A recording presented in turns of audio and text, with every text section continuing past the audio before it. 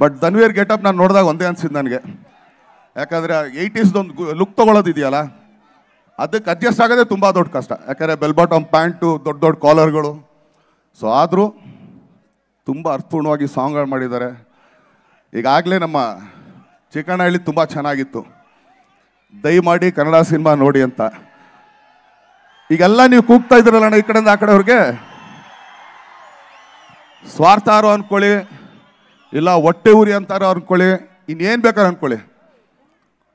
ಏನಕ್ಕೆ ಅಂತಂದರೆ, ಆಗಲೇ ಅಕ್ಕಪಕ್ಕದ ರಾಜ್ಯದವ್ರು ಆ್ಯಕ್ಚುಲಿ ಮೊದಲು ಅಲ್ಲಿ ಜಕ್ಕೂರ್ ಹತ್ರ ಮಾಡ್ತಿದ್ರು ಫಂಕ್ಷನ್ಗಳು ಅವ್ರವ್ರ ಸಿನಿಮಾನ ಪ್ರಮೋಷನ್ ಮಾಡೋದಕ್ಕೆ. ಇನ್ನೂ ಒಳಗಡೆ ಇನ್ನು ನೆಕ್ಸ್ಟ್ ಟೈಮಿಂದ ಇಲ್ಲಿಗೆ ಬಂದಿರ್ತಾರೆ, ನಾವು ಇಲ್ಲಿಂದ ಆಚೆ ಹೊಟ್ಟೋಗಿರ್ಬೇಕಾಗತ್ತೆ ಸೊ ಅದು ಓಕೆ ಅಂತೀರಾ, ಏನಂತೀರಾ? ದಯಮಾಡಿ, ಇದು ಸ್ವಾರ್ಥನಾರು ಅಂದ್ಕೊಳ್ಳಿ ಮೊದಲು ನಮ್ಮ ತಾಯಿನ ನಾವು ಪ್ರೀತಿಸೋದು ಕಲ್ತ್ಕೊಳ್ಳೋಣ.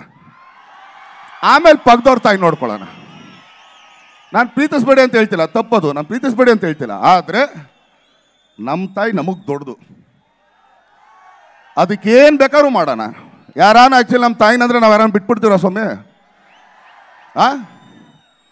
ಇಲ್ಲ ನಮ್ಮ ತಾಯಿನ ಹೇಳ್ಬೇಕಾದ್ರೆ ಅವ್ರು ಯಾರನ್ನ ಒಬ್ಬರು ಮಾತಾಡ್ತಾರ?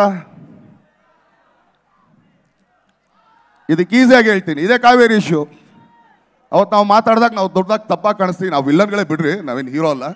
ಆದರೂ ನಾವು ಒಂದೇನಂದ್ರೆ ನೀಯತ್ ಮಾತಾಡ್ತೀವಿ. ಬೇರೆ ಯಾರೋ ಒಂದು ಮಾತು ಎತ್ತಿದ್ರೆ ಇದ್ರ ಬಗ್ಗೆ? ಯಾಕಾಗಾರ ಅವ್ರಿಗೆ ಸಂಬಂಧನೇ ಇಲ್ವಾ? ಬರೀ ಪ್ರಮೋಷನ್ ಅಷ್ಟೇನಾ? ಹಾಂ ಆದ್ದರಿಂದ ದಯಮಾಡಿ ಕನ್ನಡ ಸಿನಿಮಾನ ಹರಿಸಿ, ಬೆಳೆಸಿ, ಆಶೀರ್ವದಿಸಿ, ಒಂದ್ಸಲಿ ನೋಡಿ ನೀವು. ಅದೇ ಚಿಕ್ಕಣ ಹೇಳ್ದಂಗೆ ಯಾರೋ, ಹೌದು ಎರಡೂವರೆ ಗಂಟೆ ಸಿನಿಮಾದಲ್ಲಿ ಎಲ್ಲ ನಂಗೆ ಹತ್ತು ನಿಮಿಷ ಇಷ್ಟ ಆಗಿಲ್ಲ ಅಂತ ಇಷ್ಟ ಆಗಲ್ಲ ಅಂತಂದ್ರೆ ತಪ್ಪದು. ಪೂರ್ತಿ ಸಿನಿಮಾ ನೋಡಬೇಕು. ಆಗಲೇ ಅರ್ಥ ಆಗೋದು ನಮ್ಗೆ ಏನು ಸಿನಿಮಾ ಅಂತ.